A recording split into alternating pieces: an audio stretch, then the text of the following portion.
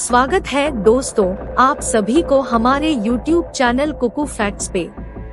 आज की वीडियो में हम लाए हैं गणतंत्र दिवस के ऊपर कुछ रोचक बातें। आशा है आपको अच्छा लगेगा। वीडियो शुरू करने से पहले अगर आप नए हैं हमारे चैनल पे तो कृपया हमारे चैनल को ज़रूर शेयर करें। और अगर वीडियो अच्छा लगे तो लाइक करें और ढेर सारा प्यार के साथ शेयर भी करें। तो चलिए बिना देर किए शुरू करते हैं आज की वीडियो। क्या आपको पता है, आखिर हमारे गणतंत्र दिवस को मनाने के पीछे का कारण क्या है? अगर पता हो तो कमेंट ज़रूर करें, और अगर नहीं पता तो कोई बात नहीं, आज हम इसी टॉपिक पे लाए हैं आपके लिए ये छोटा सा वीडियो। सन 1929 के दिसंबर में लाहौर में भारतीय राष्ट्रीय कांग्रेस का अधिवेशन पंडित जवाहरलाल नेहरू की अध्यक्षता में हुआ जिसमें प्रस्ताव पारित कर इस बात की घोषणा की गई कि यदि अंग्रेज़ सरकार 26 जनवरी 1930 तक भारत को स्वायत्त निवेश, डोमिनियन का पद प्रदान नहीं करेगी। जिसके तहत भारत ब्रिटिश साम्राज्य में ही स्वशासित इकाई बन जाने उस दिन भारत की पूर्ण स्वतंत्रता के निश्चय की घोषणा की और अपना सक्रिय आंदोलन आरंभ किया। उस दिन से 1947 में स्वतंत्रता प्राप्त होने तक 26 जनवरी स्वतंत्रता दिवस के रूप में मनाया जाता रहा। इसके पश्चात स्वतंत्रता प्राप्ति के वास्तविक दिन 15 अगस्त को भारत के स्वतंत्रता दिवस के रूप में स्वीकार किया गया। भारत के स्वतंत्र हो जाने के बाद संविधान सभा की घोषणा हुई और इसने अपना कार्य 9 दिसंबर 1946 से आरंभ कर दिया।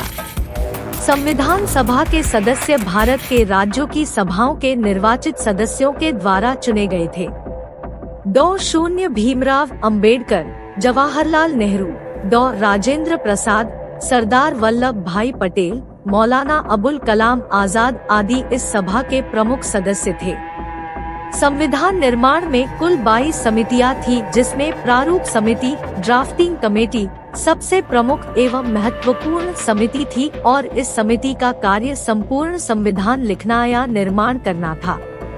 प्रारूप समिति के अध्यक्ष विधिवेत्ता डॉ. शून्य भीमराव आम्बेडकर थे।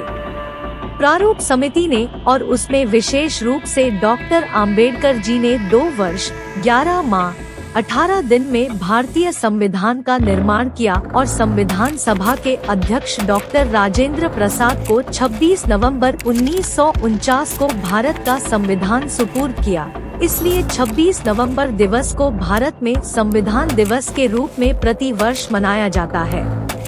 संविधान सभा ने संविधान निर्माण के समय कुल 114 दिन बैठक की।